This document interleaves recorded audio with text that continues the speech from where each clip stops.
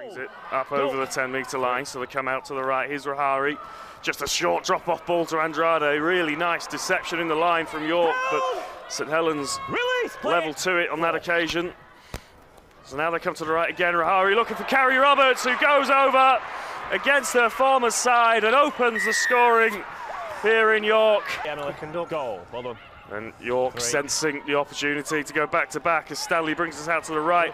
Roberts chooses to pass it on this occasion. I think she's in in the corner. Referee's just having a chat of his touch judge, but the try is scored. Put it under her arm and try and muscle over herself. The- numbers left here, Lewis. Numbers left. No, Tara Jane Stanley goes through the hands. It should be a certain try. Well, it's Renouf. It should be in, and she does get it down. So they've scored two on the right edge. They come to the left-hand side for the first time. Oh, three. Mottershead with options on both sides, but goes to the numbers on the right. Gaskin, again, just thought about that ball over the top, but keeps it in hand.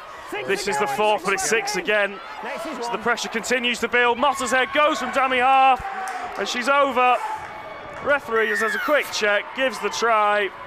The York Valkyrie have come out this second half and, and done exactly to. Uh, uh, to given exactly the same amount of possession to St. Helens as they gave to them in the first half, and they've paid dearly for it. And it, we said the three missed goal kicks could be really important, didn't we? From if, if, if we kick one of those, Matthew Smith's words, I'm sure, still ringing in their ears when they came out from the break. And it's that Moed momentum again. It's a funny old thing, funny old thing, isn't it? And the kick is good. So as we mentioned, these, these conversions could become very significant. Square. This is the fourth. St Helens, Oh. 10 metres out. But it's a slower play, the ball. York have had a chance to get set. Gaskin drops it back on the inside to Kroll running a line. She's brought down three, four metres away, and this is the last. So a big kick coming in here. Significant end to this set. Gaskin brings it up to the line. line. She's gone Then out it. the back. They're going to keep the ball in hand. Sahili out to Woozy. She's got Burke who brings it in and scores. A really well worked try in the end from St Helens. They kept their cool. They knew the numbers would be there, and Leah Burke scored. She finds a 50 metre break downfield. The ball spread from left to right, then back back from right to left on play five. Faye Gaskin just sums up the situation. She doesn't want to kick it. She finds a half-back partner out the back. It's a great pass from Amy Taylor to the edge. It's just wonderful hands. And then that last pass, how she dragged that in. Wow, what skill that is. Yeah, the, the the- the pass is uh, behind her, isn't it? The pass is behind her from Woozy. By Alex Stimson. Wait, York, come on. Go. Burke. These are good. They can. They're not doing anything. Two. Really good line speed from York to restrict the meters Oh, there, it's and it's going to be a penalty. And that is really a coach killer. it. Coach killer. Taking her time over this one, it's an important one.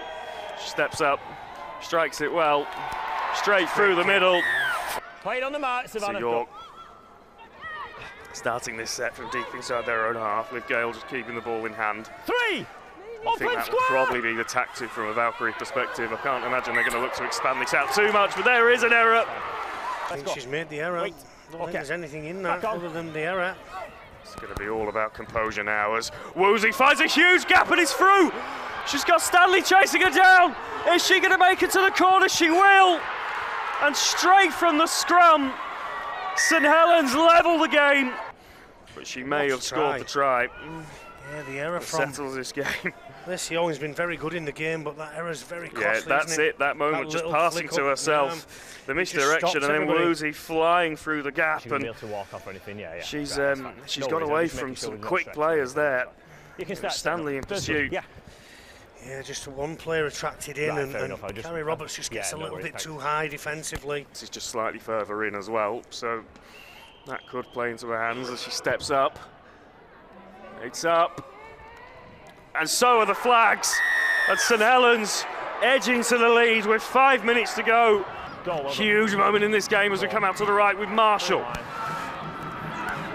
Could be the numbers available on the right hand side here as Roberts goes to the line. Roberts gets their second of the afternoon, and York take the lead back. Right on the sideline. Probably more suited to her as a left Oh, what footer. a kick that is. And she's absolutely nailed it.